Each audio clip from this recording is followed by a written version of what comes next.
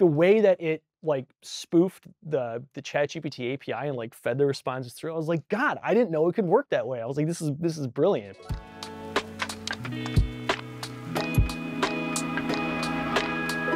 Hello everyone, my name's Oliver. I'm joined today by Patrick Kettner, and we're both developer relations engineers on the Google Chrome team. We're joined today by Matt Frisbie. Matt is a Google developer expert and author of the book Building Browser Extensions. Matt, I'm really excited to have you with us today. Yeah, well, first, thanks for having me on. Um, it's exciting to be here to talk about extensions, a, a, piece of technology that is near and dear to my heart. Um, yeah, so I published uh, the book Building Browser Extensions at the end of last year. Um, it was it remains the only major title uh, about browser extensions, um, and I'll, we'll get into the reasons um, why that is. Um, and then my uh, my full time job is uh, I run a startup whose product is a open source and free browser extension, um, and we'll get into the details of that as well. But um, it has proved to be uh, both lucrative and very effective in the space that I work in. So um, yeah, I, I do a lot of extension work in a lot of different ways. So is there actually a connection between the book and the startup or like which one came first? Or... Uh, there, there is a very intimate connection between those two things. So um, if we rewind, rewind uh, about five years ago, uh, I left Google, I used to work here, um, and I left to start a, a startup in the cannabis industry mm. focused on compliance tech most states have centered upon this one platform, which is called Metrc. Hmm. And so the startup that um, I started working on, um, we basically wanted to build a uh, a marketplace that directly interacted with this compliance platform Metrc. And so this was, you know, this was five years ago, and the the company ultimately didn't work out. Hmm. But um, where extensions kind of come into the fold is that uh, I was the only technical member on the founding team, and so um, it was put onto me to develop this huge piece of tech to integrate with this compliance platform, um, which has has a public API. It's not very good. It's hard to use. The documentation is not good, and it doesn't actually do everything that you need. And so um, it is still the case today, five years later, that um, most of the legal industry in the United States is still using um, the website as the primary way to use this compliance platform, even though they have an API, because the API cannot do everything. Mm-hmm. And on top of that, if you want to use the API, it's not open. You have to pass tests at each um, in each state that you want to use it in. So right now, it's I think it's available in like 23 states. Mm-hmm. So as a single developer, for the, I would have to go if we wanted to be mm-hmm. roll out nationally. I would have to pass an, a, this like test that they run mm. in 23 different states. Mm. And then there's also other things like some some states you have to have like special insurance and things like that. It was just prohibitive for like a yeah a small startup. Mm-hmm. So um, we spent like a year and a half like building this like monstrosity of a tech platform that was like trying to interact with this API and it was just not happening. Mm. And so um, at one point we said, okay, everyone's using the website. Forget the API. Let's go directly to the website. So I started to um, look at their website directly um, which is all these companies are logging in and mm-hmm. recording mm-hmm. their compliance on it. And I said, okay, a, a, much more effective way of a single developer integrating with this platform is to me just build an extension mm. that talks directly to their web servers, which are using a completely different mm-hmm. API, but a complete one, and I don't have to pass all these tests. And so that was the genesis of this product. So the the first piece of this extension that I ended up building was um, there were wildfires in California I, that burned down a bunch of farms. Sure. I probably four years ago mm-hmm. now, um, and uh, there are some communities that I was following to just kind of get a finger on the pulse mm-hmm. of what people were doing, and so um, there was this very um, to like uh, as part of the compliance platform. There's like mm-hmm. these um, you have to like tag everything in it, right. so you can like track it in the platform. Um, and so when the farms burned down, they had to like void all these tags, and so these these farmers that um, that had to um, you know go and like void these tags in this in in the the compliance platform mm. they would have to go and like click click click click and then like wait for that to submit that's one tag and they have like to do 10,000 of those and so their farm burned down and they're like spending their like they're spending like right. multiple evenings like just their livelihood okay okay okay right and so I, I look at this and i go this is insane let's automate this yeah. right like i obvious solution. So that was the V1. So the V1 of this product was I built it overnight because really? extensions are very easy to build. And like all it was, it was just like this simple plugin that just automated all, all all the clicking to do this. And so instead of spending six hours clicking on this platform, you could do it in 10 seconds. Mhm. And I would say this is such a common story that we hear of like old enterprise software uh, that like, is really hard to modify, uh, but there's something that you want to do which should be really easy to build. Mhm. And like extensions are such a nice way to do that, I think. Yes. And um, starting from that like simple point, I think as I because I didn't know anything about extensions, like that was totally self-taught. It was like, all right, well let's let's see where this goes. And then as the rich API of extensions started to unfold, I was like, oh well, this is an interesting place that we could, you know, let, let's explore this area. Like let's, you know, like use their like cookie, like their authenticated cookies, and like we can talk to the server directly. Like, oh, let's you know manipulate the page in these interesting ways. And We can like automate these like very lengthy tasks. Mm. Um, and so like it's, it just started to make its own gravy and it just um, it kept going. And so now, um, you know, fast forward, um, uh, you know, uh, so the the company ultimately shut down, but I I, I basically I have since I, I started over and I, I basically rebuilt the product into the current iteration, which is called Track and Trace Tools, um, which is an open source and free um, extension Mhm. for the cannabis community that integrates directly with this um, compliance platform that everyone has to use. And so um, it is it's used by a thousand companies.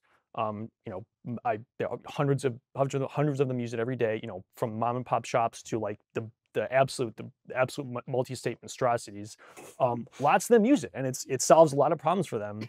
It's it's a very strange space to work in. Like, not a lot of people have Mm. found success in this way, but it is a, a totally unique solution that really you cannot replicate any other way. Like there's I uh, short of like building this like gross headless browser Sure. solution, which I, I don't even know if that's if, that would even fix things. Like Yeah. there's just there's just not a way to address this problem um, with the the limitations. So um, the business that I run now is grown organically in this kind of unusual way, and it's all fueled by the ubiquity and power of extensions. That's fascinating. So, like, I think all it's a really common ex- user experience to go to a website, especially like government mandated websites, and they're built by the lowest bidder. They're usually overwhelmed with all kinds of, they have a lot of technical requests, and they're not the best UX.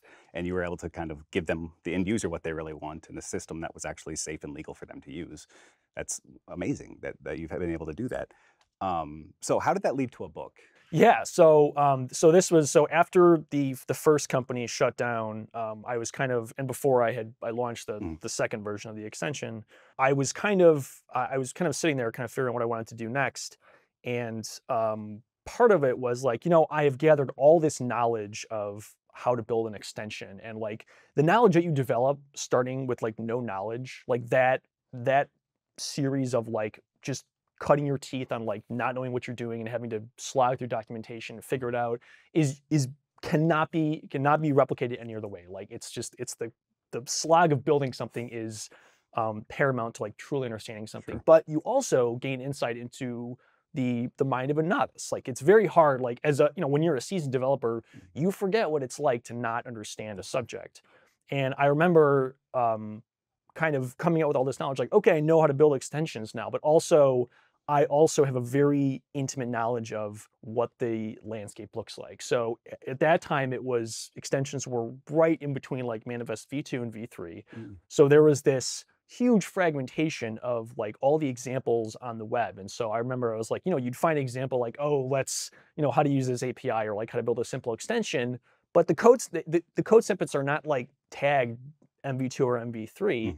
And so it's like, God, like, is this applicable? Does this even work? Like, how, you know, are these things even possible? Like, oh, this person built this using, you know, because some things between MV2 and MV3 are Mhm. totally incompatible. So I was like, God, this is a nightmare. And then like, the, you know, some of the APIs, you know, were not as well documented Mhm. as others. Um, and it was all very confusing. And so I was like, okay, let's put together this single repository that's geared toward, or not repository. Let's put together a text because I had written a number of books before, so Mm. the rhythm of it I had kind of gotten into, and I kind of I know what resonates well with developers who are kind of looking to, um, you know, dip their toes in the water or jump in entirely. um, and so I was like, okay, let's, you know, there's so much that could go in this book, and like there's so many angles because it's like the the way that browser extensions work, like it's it's in this like weird hybrid um, I think I think I started off the book. I was saying they're like weird and wonderful parasites, which people took issue with. But it, I I really I really stick by that because um, it's true. Like they're Mhm. not they're it's it's not a standalone product. It's the the whole utility of them is that they sit on top of the open web. But like therein lies the magic of like building extensions. Um, and they're, you know, as you start to unpack all the available APIs, like they're massively powerful. Um, I almost to a fault, and I'm sure we'll, we'll touch on that later. Um, but it was like I was like, okay, like I started to like put together the outline for this book, and I was like, oh, like let's do, um, you know, let's cover like all the basic components. Oh, and let's do a section on deployment. Oh, let's, you know, you know, Safari is like, you know, running a extension program now. Like they're so you build extensions in Xcode and like oh, so you know, it just started. It just on and on and on. Like how do permissions work? What are the best way to deploy? Like this knowledge that like is kind of spread out in some ways and doesn't exist at all. And so I was like, all right, let's just smush it all into one place and mm-hmm. like put it in a book and like because there's nothing. Like I searched, I searched Amazon. I was like, you know, there's eight thousand books on how to write Python, but like I was like, build an extension. Not, I mean, there's Yeah. no, there's nothing. There's, I was like, how is it? How is this possible? Like there are, um, and you look at like, cause it, and it's, um, you know, extensions are. I like I ran the numbers on like the the the comparative sizes of like marketplaces. So obviously the app store is going to be bigger, but Mhm. it's not that much bigger. And so, and then the other thing is you look at like, um, I think there, you know, there are a couple big examples like the the Honey Chrome extension, which um, I think was ac- acquired by PayPal for like bi- billions of dollars, like a, a, a very hefty payday. Um, and like there are huge, you know, huge like um, a company called Loom. I, I I know one of the founders personally, and like their first product was a Chrome extension, like for recording video. And so they're um, like the you know it's it, it really does follow a power law of like some of these the biggest extensions are like have huge user bases and like really are super useful and so uh you know it, you can keep going like you can look at like you know i um you know uh ad blockers and um uh password managers are two of the most important pieces of like user privacy software that you can use in like any context. And so um, extensions have I, I the book sort of wrote itself because like you you put down the outline and it's just like oh like I can I can just write forever about this. Um, and so like you know when you're when it's rolling downhill like that like you just roll with it. And so um, yeah that's that was the genesis of the book. That's fascinating. So you mentioned that extensions are a really big space and it's sort of challenging to break down into the initial steps for a new developer coming to the platform. How did you go about that in the book? What do you think are the the specific steps that you would recommend to someone getting started? Yeah, so um, the book was intentionally designed to sort of um, go step by step from a more digestible piece of extensions into some of the more obscure pieces. So um, the more digestible pieces are pieces that um, are replicative of like what a website is. So like the pop-up, for example, like that's a very easy to understand. It's like its own web page. It has some special rules, but like it has an interface that you know is is basically like a website, and there are The, there are pieces the extension pop up. the extension pop-up, Click that yeah, icon so in the click- corner. you click the button and the, the pop-up comes up. Um, that's a lot of you know a lot of sites use that, um, or not a lot of sites. A lot of extensions use that. It's a very easy you know it's easy for the user to understand. It's easy to to work with. Um, so that's a very approachable piece of extensions. Then you you know you can go into options pages and you know you go into developer tools and things like that, um, things that have user interfaces, and then building on top of that are the more abstract stuff. So it's like once once you get into things that don't have a user interface, then are tying together these disparate pieces. Um, that's uh, you know you kind of like work into that because I think one of the pieces that I sort of struggled to understand when I got started with extensions is that there's not it's not like a mobile app where there's there's an interface like there's a there's always an interface and you, it all starts from there right? You can there are buttons to press and it's like it's you know visually it's very easy to understand. Sometimes you install, install an extension and there's no interface. It's just like it mm-hmm. automatically works or like it's you know the the place where you're setting you know changing settings and things like that are like hidden or hard to get to or you know it's sometimes it's like totally transparent like you install an ad blocker and you'll you may never open it right? You It's- used the analogy earlier of like building on top of the browser, and I think that's really nice. Like you may be running code in specific tabs, or you may be running some code in the background. Mhm. That you can you can really decide what makes sense for your extension. It it's super adaptable um, and i think that's once you once you're able to sort once you have the entire um, kind of network of all the different pieces that are available at your disposal i think that that's when you really like the light bulb moment Mhm. goes on and you're like oh like this is super powerful and i can do all these like really interesting things with it so um, yeah, and I, you know, I, I spent a lot of time in the book kind of laying out the the landscape of like how all these pieces talk to each other. Like, n- none of these are technically required other than it's like very, you know, basically the manifest, and you can you know, go hog wild. Like it all, um, yeah, go go. You can sort of take it wherever you want. Um, so it really, it's like once you once you kind of have the the mental model of like what extensions can do and where they, you know, where they touch and like how it's going to be driven and like all, all the different ways. I think that's that's when um, the the learning developer can really start to like grasp um, how all the pieces fit together and like all the different ways that they can be applied. So, in your research into the book and your startup and everything else, was there something on the extension platform that was surprising to you? Like you were relatively novice, but by the time you wrote a book, presumably you felt fairly comfortable with it. Did you end up learning stuff? Do you feel like it was really digestible? You knew the whole platform already? Oh no, I so yeah, I mean, I I you know, I'm I'm just about to publish my fifth book, and I I can say definitively that like, and any author who tells you otherwise is lying. That like you're learning as you're writing. I mean, you you know enough to like put together the outline, but it is first and foremost a self-guided research project because you're really, um, it's it's one thing to like know something, to, but to be able to put it lay it out in a way that is accessible to a reader, especially a reader who doesn't know anything necessarily. Um, that that process is is still a learning process. You're still going to uncover stuff that you don't understand. You're like, oh, I like I didn't know it worked that way. I mean, the high level, like you know how it works, but like the the minutia of like all these different places, like it is absolutely a learning experience.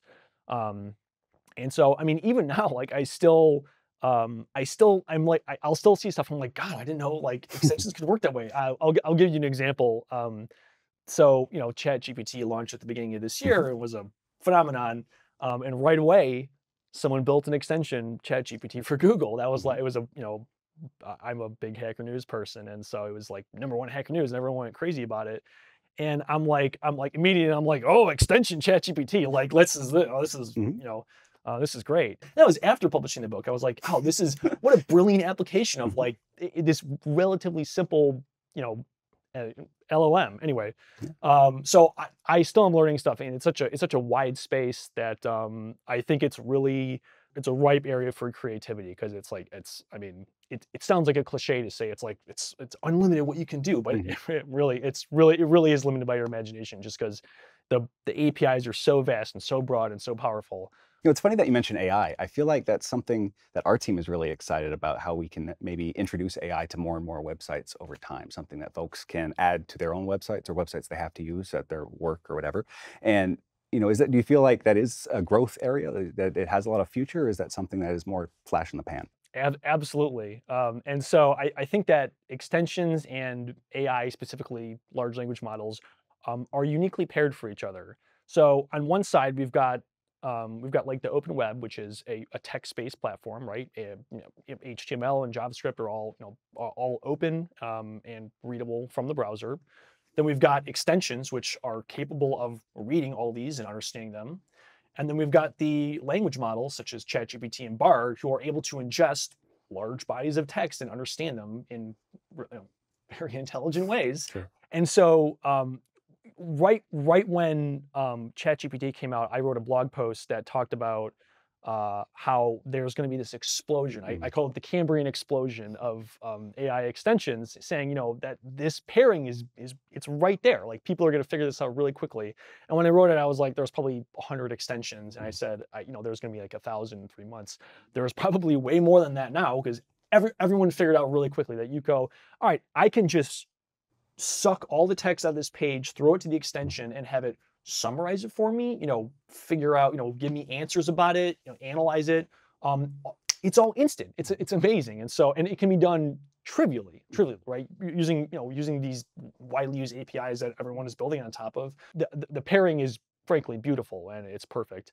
Um, and we've only started to scratch the surface because you know we're you know the area of AI is still in its infancy, Mhm. and uh, I mean I we are we are certainly not far from having AI be like a core piece of like how we interact with the web itself um, just be just by virtue of like how how powerful and how perfectly it is um, uh, paired to just interact with uh, the the web in general.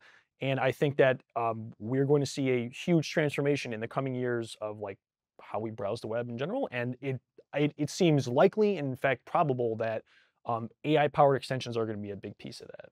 I, I think one of the really interesting things that we saw was that a lot of these extensions that we're building with AI were built by developers who had never built an extension before. Mm.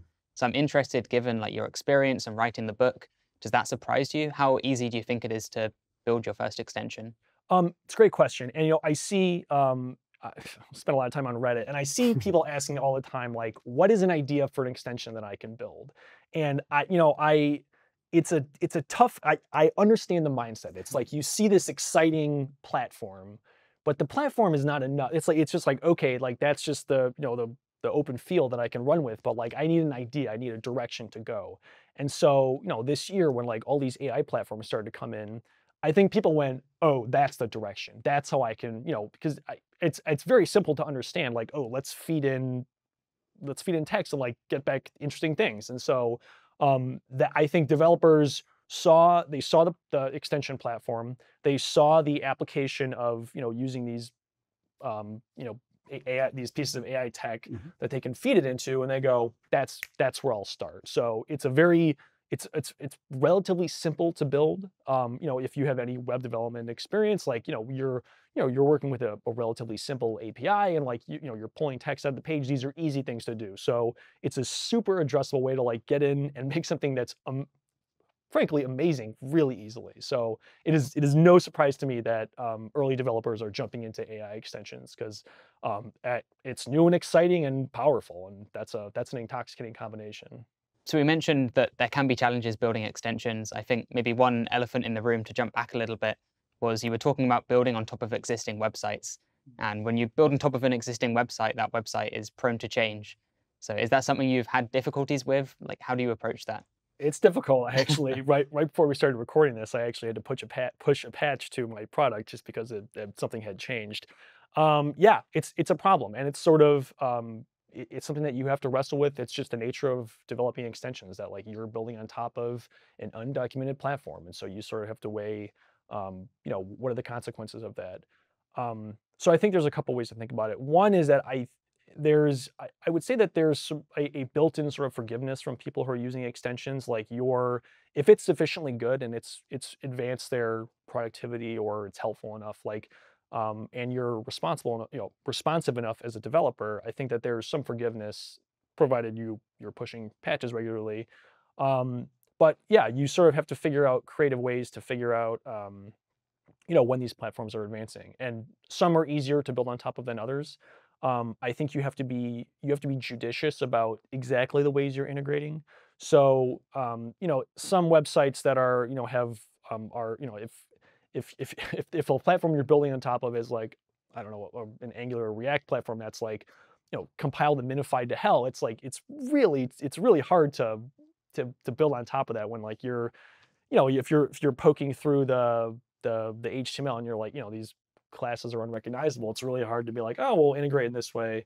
Um and, and on, on the other hand like if there's um you know if you if you aren't as tightly integrated with the page and you're sort of building this like supplemental piece of software which is the the way that i do it um it's you, sort of arrive at this kind of stable equilibrium where yeah you're a little bit exposed to like changes they might have but um you you know it's it's just sort of the cost of doing business um and you know you you integrate with the pieces that are the most powerful so like you know talking with the web servers which are just naturally probably going to change less because they're not going to be swapping around their apis all the time um, and you know you you'll build supplemental interfaces that aren't like totally dependent um, on how the page works. And so i think actually that's so it brings up an interesting point is that that is one of the most um, eh, having worked on extensions in the way that i do for so long i think that has been a really interesting piece that i've had to learn is um, building resilience. So the the product that i work on has multiple tiers of failovers. So like everything you write, the way that you integrate with the page, the way that you're integrating with APIs, like you have to sort of expect it to change and you would like to have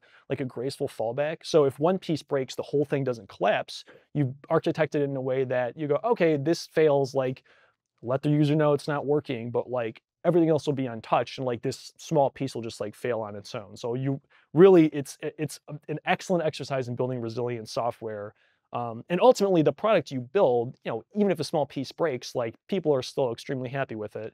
yeah, so it's I, it's still totally possible, even though if it's a little bit more fragile than you might be um, in other contexts. Like it's still totally possible to build a great piece of software, um, you know, provided that you've taken the proper precautions and you're being a responsible developer and maintaining it. And I, I, think something that I would add is that this certainly isn't the case for all extensions. And I think you sort of know what you're signing up for. If you choose to build an extension which is really dependent on the page, then you run into some of these problems. At the same time, you could build an extension that's like letting a user take notes beside a page, and that will be less prone to break and is maybe a good place to start.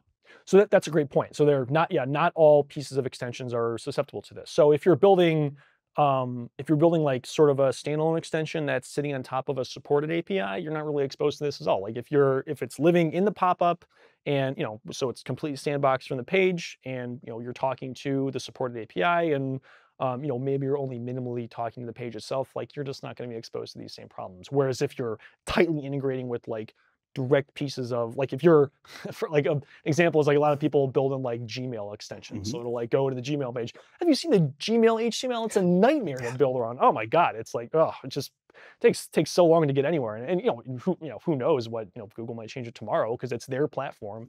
Um, and so you're exposed to that. So um, I mean, I think I think what we can point out specifically content scripts is like kind of the Wild West part of extensions. Like you can, can you explain content scripts? Oh yeah, sorry, that might not be um, familiar. Yeah, so um, content scripts, right? So you're able to, in a couple different ways, inject JavaScript and CSS directly into the page, modify the page, read things out of the page, um, interact with the page, change the page, you know, dispatch click events, things like that. So um, this is probably one of the most powerful pieces, but also kind of the most um, uh, unruly pieces, kind of hard to wrangle. Because, um, you know, when you inject stuff into the page, like you're kind of fighting with the page's JavaScript if you're not careful. And so, but you can add in widgets, you can change colors, you can change the mm. appearance, which like users love. Like, uh, how many extensions are there out there that like change how your Facebook looks or something mm-hmm. like that? Like, people love it. And so, it's a really, it's a, it's, I mean, they're awesome uh, but you're you're really subject to um, kind of all the all the nastiness of like basically fighting with the host page, which must still work, or you're you know they're they're going to install your extension immediately. Sure. One thing I'm interested in is as a product that is built on top of existing web pages that may be breaking at any time. You mentioned today there was a break today. Yeah. Um, how do you actually monitor that, and what's the kind of uh, plan for rolling out something? Is that something you can push an update for immediately, or how does that go? It's difficult. Um, I mean, you have to be so there's there's a couple different ways. One is, I mean, the, the, most the most effective way is to have a good relationship with your users and like kind of get make it easy for them to like quickly report bugs. So like this the bug that I fixed today was reported by a user. They go, hey, this isn't working. Um, they've, I mean, some of them are. I, really good at reporting bugs like they know to you know send screenshots and like i have a, a place that they can record bugs so if you make it easy for them that's the simplest way, but you, you know you can't always rely on your you know having such an intimate. I you know I work with sure. larger businesses, and mm-hmm. so they're motivated to have this product. But if it's just you know if you're uh, you know appealing to consumers who are may not pay you money or you know are you're going to be not talking with at all. Mm-hmm. Um, yeah, you'll need to have more automated solutions. So I, I have also built um, built in um, ways of kind of monitoring the host page. So, and this is you're not going to find an off-the-shelf solution for this. You're going to kind of need to need ways to um, monitor the host page. So you know, pages will often display a version number, so you can kind of monitor. You know, you can have a reporting service that like uses a content script to like read out the version number and go, oh, it updated. Maybe I should check the page. Or even more, you know, mm. there monitor sections of like, hey, here's this like take a hash of this JavaScript blob, and mm. like every time it changes, you go, you know, I should, you know, this is I, I know that the host page this is a critical section of their mm. JavaScript. Like maybe I should check it, or um, you know, have some sort of like sentinel on the page looking for like, hey, like this text changed, or like these pieces changed you know, kind of watching for changes and then you can react to it faster.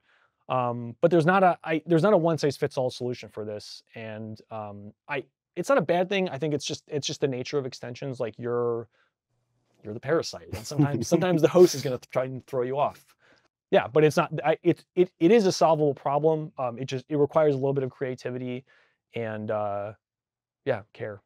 I think maybe the answer that comes to mind for some of those things is sort of automated testing of extensions. Is that something that you do or that you've looked at in the past? Uh, totally. So I mean, yeah, you can't you can't ship an extension without tests. Um, it is, I guess, one one thing that's especially challenging in extensions is that like going outside of um, outside of like unit testing as things get I, I would say more than a little sticky, probably a lot sticky. Um, I, it's something that I, I've dipped my toe in just to kind of see what it's like, and um, it's kind of it's a, little, it's a, little, bit ugly.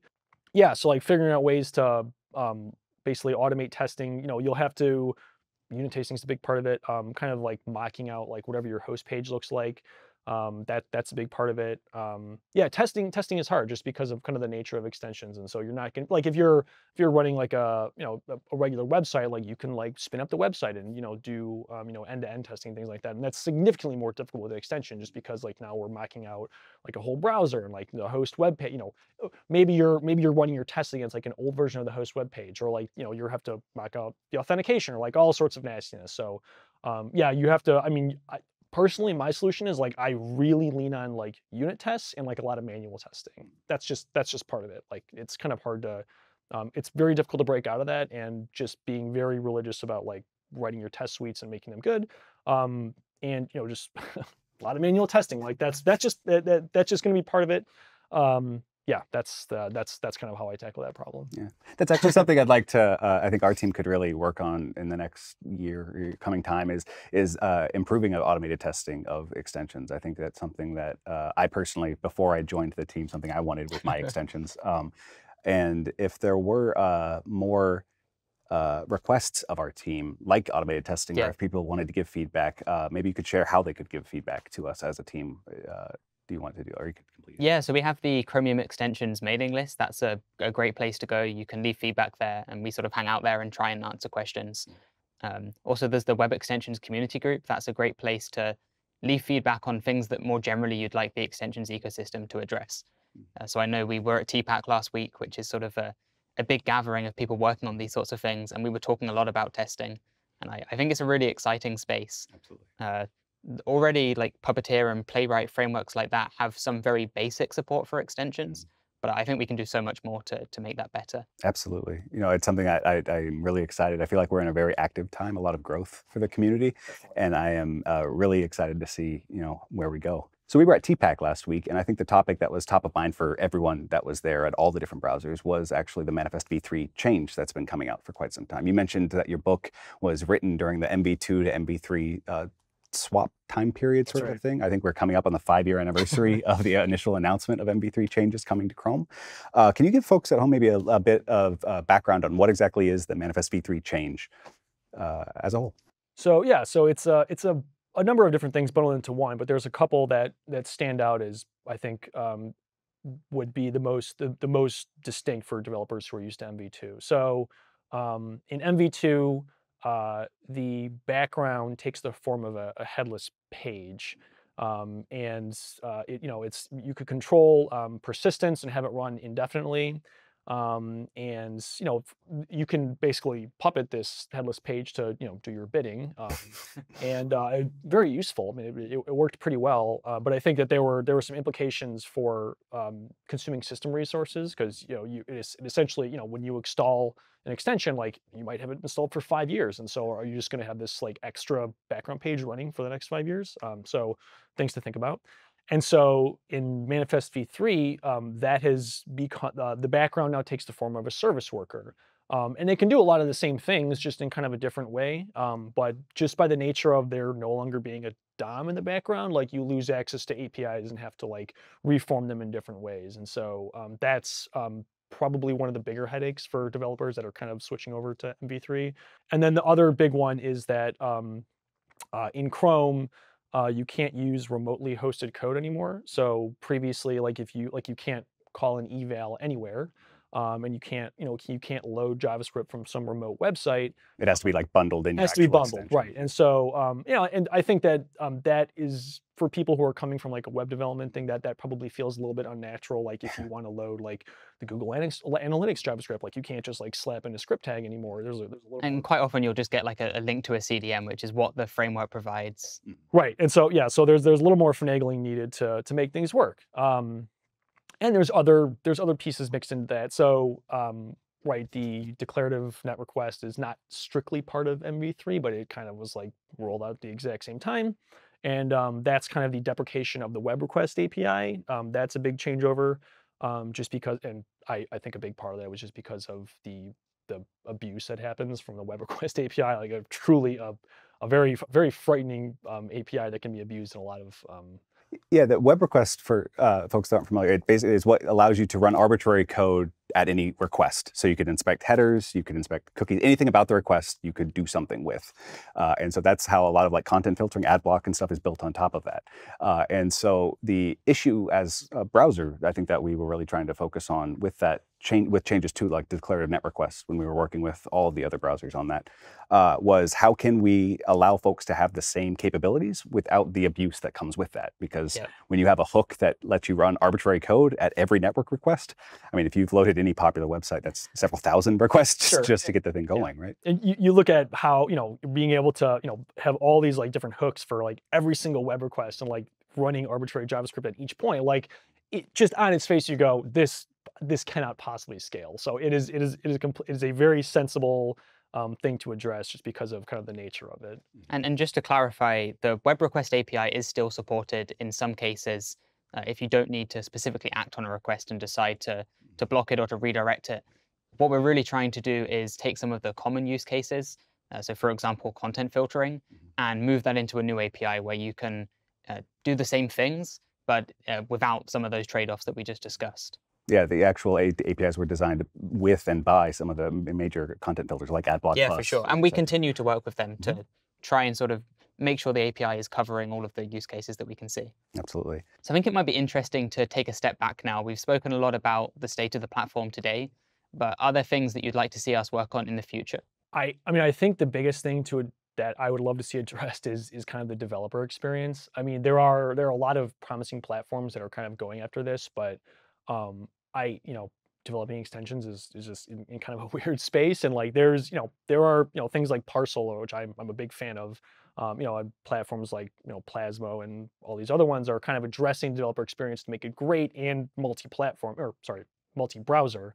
Um, I yeah, but like eh, we talked about testing before. Um, I think that there there is so much that can be done to like make the developer experience great.